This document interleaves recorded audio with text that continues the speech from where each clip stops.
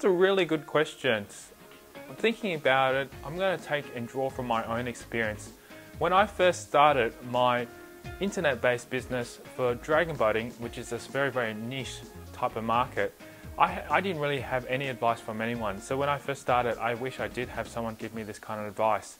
So the unconventional advice that I'd give you is firstly, make sure that you do have the system and an e-commerce site set up correctly.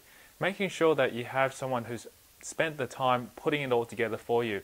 Don't do it yourself because my biggest mistake was that I spent at least two or three weeks tweaking, getting it all fixed up and, and just getting it to look the way I wanted to look. But still then I, I still need to upgrade it and maintain it over the course of the time that I ran the business. So I would highly, highly recommend you just outsource and get someone to be able to create the e-commerce store for you. And once that's created, then you've got something that you can be proud of and start making sales. Now, instead of me spending those two weeks or three weeks that I spent on developing the website, I could have spent that time looking for more sales and more traffic to drive to my website.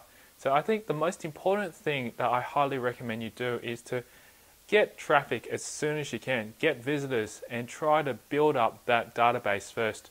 Even if you don't even have a website set up, an e-commerce website store, have a landing page there and put that landing page there and drive people to that website and say it, you know you can download this free little coupon or you can download and check out my product range categories or a catalog that you can sign up to just get them onto a database first before you even have a website and it's sort of what we call pre-launch and that pre-launch is just to really get people excited about your e-commerce store and to launch it out there.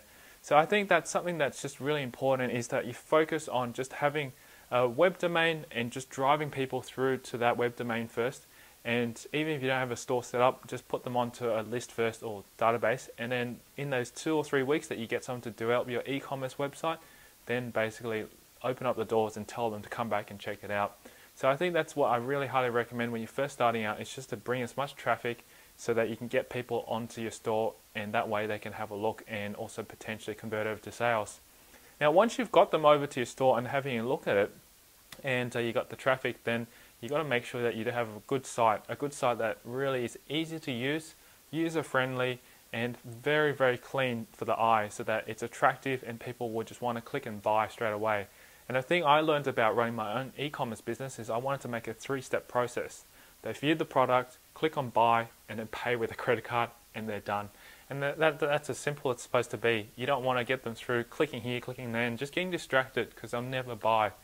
So you really need to just look at that and make sure that you implement something like that with your e-commerce site that you are planning to start. And that's the best advice I can give you just from my personal experience when I ran my e-commerce website for the dragon boating niche. I hope that's good advice for you. And um, yeah, thanks very much for asking me this question.